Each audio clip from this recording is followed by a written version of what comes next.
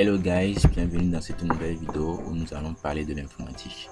Qu'est-ce que c'est que l'informatique? L'informatique, c'est l'automatisation des tâches et des besoins que nous avons d'habitude dans nos quotidiens.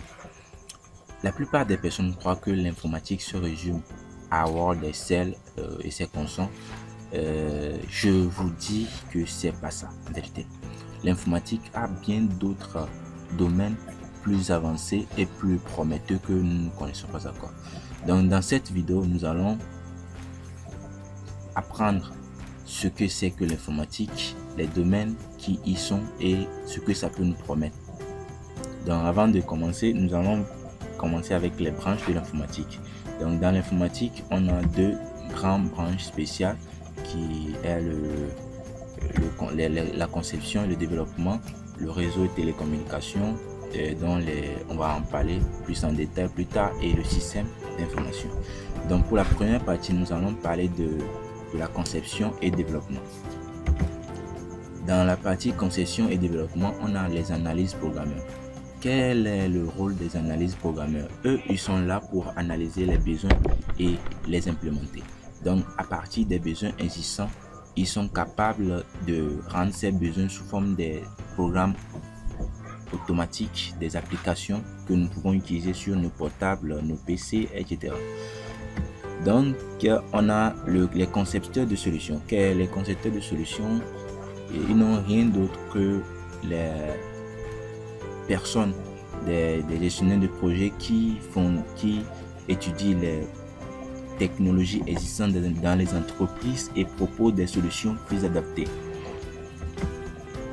on a les développeurs d'applications mobiles.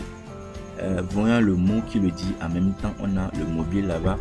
Et donc, euh, eux, ils sont là pour créer des applications, rendre nos besoins, les problèmes que nous avons d'habitude et nous faciliter la tâche en créant des applications que nous pouvons installer sur des portables, les iPhones et utiliser au quotidien. On a les techniciens de développement d'applications avancées. Les techniciens de développement d'applications avancées sont ces personnes qui créent des applications qui ont des fonctionnalités plus évoluées et qui ont aussi la capacité d'améliorer les applications existantes selon le, cahier de charge des clients. Euh, par rapport à ça, on va continuer en parlant aussi des développeurs web. Les développeurs web sont euh, les informaticiens, les programmeurs qui développent des applications web. Qu'est-ce que c'est que les applications web? Ce sont des, applications, des sites web que nous pouvons, euh, sur lesquels nous pouvons travailler, accéder à distance, euh, communiquer, faire des trucs à travers l'Internet.